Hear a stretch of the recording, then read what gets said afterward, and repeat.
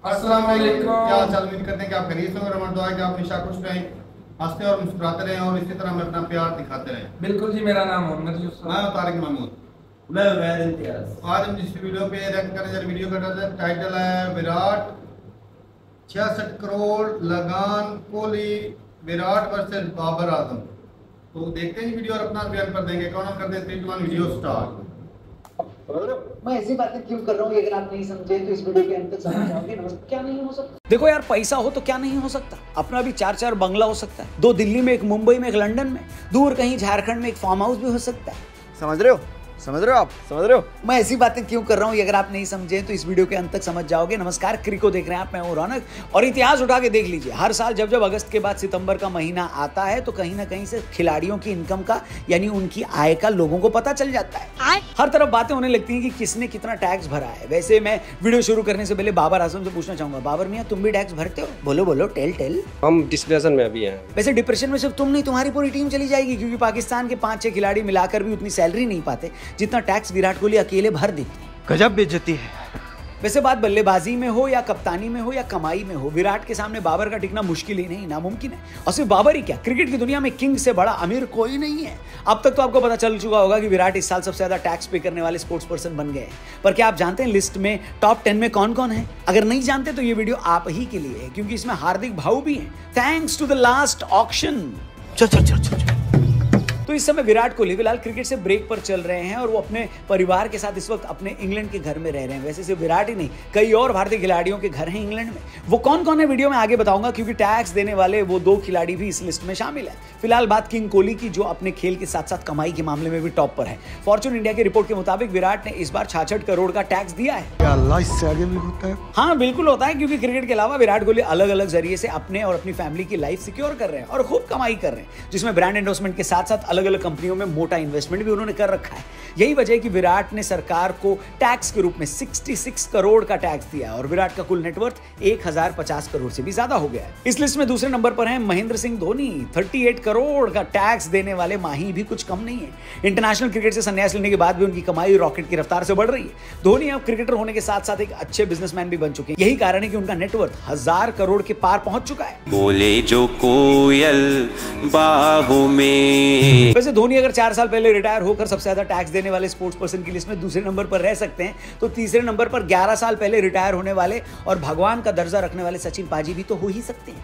उन्होंने यानी सचिन तेंदुलकर ने पिछले फाइनेंशियल ईयर में 28 करोड़ का टैक्स भरा है। भारत के सबसे अमीर स्पोर्ट्स पर्सन की लिस्ट में अगला नाम सौरव गांगुली का है। भारतीय क्रिकेट के दादा दादा सौरव गांगुली की कमाई इन दिनों ज़्यादातर बिज़नेस के साथ साथ ब्रांड एंडोर्समेंट और आईपीएल से होती है।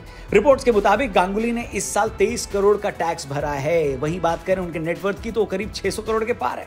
क्या आप जानते हैं सौरव गांगुली को रिटायर हुए 16 साल हो गए? खैर, आगे बढ़ते हैं। जानते हैं लिस्ट में अगला खिलाड़ी कौन है? जी हाँ हार्दिक पांड्या, जिन्होंने भरा है तेरह करोड़ का टैक्स बीसीसीआई के ए ग्रेड कॉन्ट्रैक्ट में शामिल स्टार खिलाड़ी हार्दिक को इस साल क्रिकेट फ़ीस के तौर पर करीब पाँच करोड़ रुपए मिले। हार्दिक के पास गुजरात के बड़ौदा में एक आलिशान पेंट हाउस है, जिसकी कीमत 3.6 करोड़ से भी ज़्यादा बोली गई है। हार्दिक का मुंबई के वर्सोवा में एक टू बी के अपार्टमेंट है और बांद्रा में 30 करोड़ रुपए का अपार्टमेंट है। इस लिस्ट में अगले स्पोर्ट्स पर्सन है पंत और जब जब किसी लिस्ट में ऋषभ भाई का नाम देखता हूँ तो भाई वो एक्सीडेंट का सीन याद आ जाता है। फिर याद पड़ता है कि ऋषभ पंत के वो दिन जब वो गुरुद्वारे में अपनी माता के साथ रहते थे। आज वही लड़का मौत को मात देकर देश के लिए दस करोड़ का टैक्स भर रहा है। इतना पैसा तो मुझे लगता था कि सिर्फ़ बड़े डब्लू के नीचे होता होगा, मगर ऋषभ पंत ने इतना बड़ा टैक्स भर दिया। और ऐसा इसलिए क्योंकि भारत के सबसे चमकदार क्रिकेटर को कई ब्रांड्स ने अपना ब्रांड एम्बेसडर बनाया है। पंत की आईपीएल में ही 16 करोड़ की कमाई हो जाती है। क्रिकेट के खेल में सबसे ज़्यादा कमाई करने वाले खिलाड़ियों की लिस्ट में शामिल ऋषभ पंत के पास 2024 तक कुल संपत्ति लगभग 100 करोड़ रुपए की है। तो ये हैं वो छह भारतीय क्रिकेटर्स जिन्होंने करोड़ों का टैक्स भरा है। इस लिस्ट में भारतीय टीम के कप्तान रोहित शर्मा का नाम कहीं नज़र नहीं आया। ऐसे में फैंस पूछ रहे हैं, कहीं ऐसा तो नहीं कि रोहित भाई टैक्स देना ही भूल गए? वैसे भारतीय खिलाड़ियों द्वारा जो टैक्स भरा गया है ना अगर उसको भी एक साथ मिला लो ना तो क्या उतने पैसे में पूरा पाकिस्तान भी खरीदा जा सकता है क्या? हेलो ये बड़ी अच्छी बात कही आप खैर ये बात अगर आपको अच्छी लगी तो हमें भी अच्छा लगाओ चैनल सब्सक्राइब करके जाओ और क्रिको पर कल एक अमेजिंग वीडियो देखने के लिए फिर से आओ। थैंक यू फॉर वीडियो खत्म हो गई भाई साहब। मैं तो ये सोच रहा था कि जितना ये टैक्स भर रहे हैं उतने तो हमारी कमाई भी नहीं होगी। साल का कमाते ही नहीं होंगे। हाँ। कितनी है कमाई अब देखो ना विराट कोहली ने छियासठ करोड़ पे टैक्स भरा है। तो उसकी कमाई आप देख लो छियासठ करोड़ इंडियन इंडियन हाँ अगर पाकिस्तान में करें तो डेढ़ सौ करोड़ के ऊपर लगा जाना है। दो सौ करोड़ के करीब फिर जाए हाँ, तो इतना पैसा पाकिस्तान में कहाँ से आएगा? लेकिन वो है ना कि वो वो बिज़नेस भी है ना उसके साथ। हाँ ये है, बिल्कुल है। अब आप इसकी कभी बायोपिक पढ़ो एम एस धोनी की। ये सुरेश रायना बता रहे थे कि इनके पास ना 40 से 50 ए, तकरीबन हैवी बाइक है फुल स्टैंडर्ड की ये नहीं कि लोकल तो पीछे पीछे रखी तीस चालीस उसके पास गाड़ियाँ। और झारखंड में दो दो मुरब्बे का ना इसका अपना वो फार्म हाउस है। और एक मुरब्बे में इसका अपना घर है। झारखंड का अरबियों को पीछे छोड़ रखा है इस बंदे ये ने तो मेरा- उसका उ- उसकी इज़्ज़त ही यार लाइफस्टाइल को देखो। हालाँकि उसकी प्रैक्टिकल लाइफ में देखा है कि उसमें वो वाली बात वो दिखावा बिल्कुल नहीं करता है। तो भाई उधर भी कौन दिखावा उधर जितनी अब जितनी खेती बाड़ी को खुद करता है। मैं उसने वीडियो देख रहा था अब, अब, अब जिसे हम कहते हैं ये चावल चावल की फ़सल मेरे हिसाब से आठ दस एकड़ हो रही है।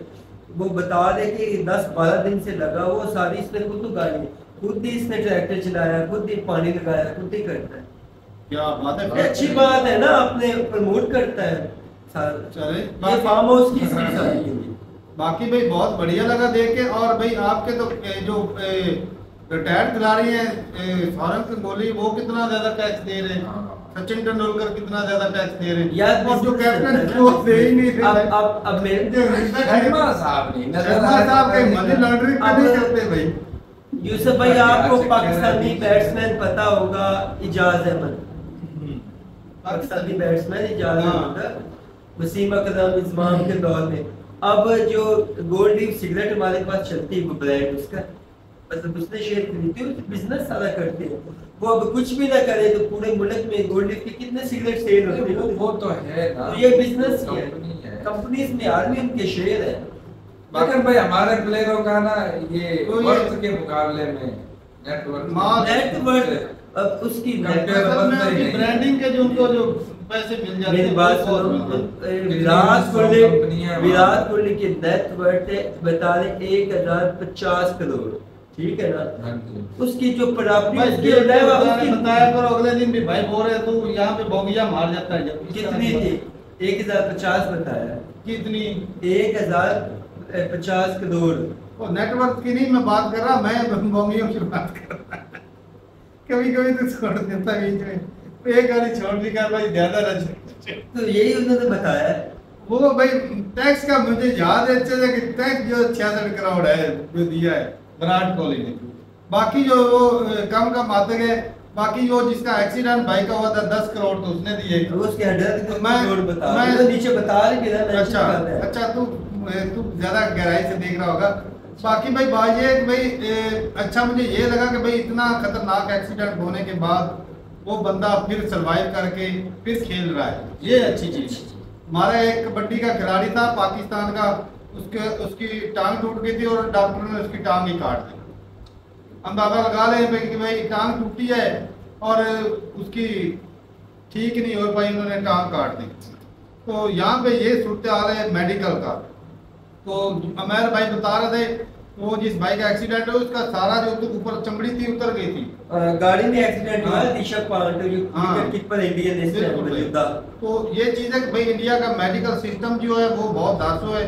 भाई असल ये भी चीज़ है दासो भी है वो अपने प्लेयरों की अपने लोगों को इज़्ज़त करते हैं उनकी रिस्पेक्ट करते हैं उनको केयर करते हैं। मिलता असल चीज़ असल में उनको मिलता भी है। मिलता है। हमारे जो क्रिकेट के खिलाड़ियों को तो भाई बहुत कुछ मिलता है। हमारी आधी टीम तो अनफिट थी अब जो टी ट्वेंटी वर्ल्ड कप हुआ इमाद वसीम मोहम्मद वसीम दोनों इंजर्ड थे टीम के साथ में। अच्छा मैं तो स्कैनिंग ही नहीं हुई थी उनकी टांगों की भी स्कैनिंग कर लें कि इनके मसल ठीक है कि नहीं है टीम के साथ भेज दी। ये हालात है। बाकी ये देखो हमारे पूरे खिलाड़ी जो है ना पंद्रह चौदह जितने भी होते हैं मतलब वो वो एक जब टीम पूरी सिलेक्ट होती है वैसे तो ग्यारह खेलते हैं वो जितने भी खिलाड़ी होते हैं उनकी सारों की सैलरी मिला लो या नेटवर्क मिला लो।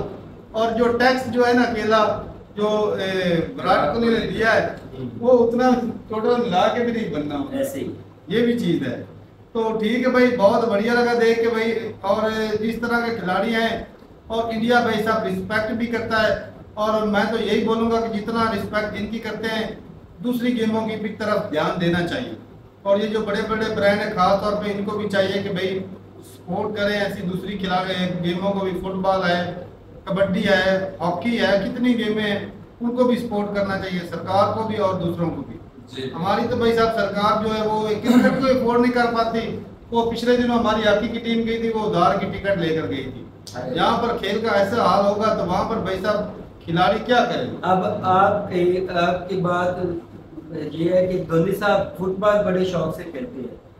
और झारखंड में इन्होंने एक ग्राउंड बनाया फुटबॉल के पूरा ग्राउंड वो बना के वहाँ के जो बच्चे हैं ना कम्युनिटी उनको दे दिया। मतलब करोड़ों में तो उस पर लगे होंगे। और पंजाब से जो हरियाणा और पंजाब में जितने कबड्डी के प्लेयर हैं, जिनको स्पॉन्सर नहीं मिलते, विराट कोहली उनका स्पॉन्सर होता है, ताकि आप जाके खेलो। यार ये बड़ी बहुत बड़ी ये अच्छी है, बात ये है अच्छी बात। है जी ठीक है भाई अपनी राजरूपता का कमेंट सेक्शन में मिलता नहीं मिली के तब तक के लिए इजाज़त दें। अल्लाह अल्लाह हाफिज।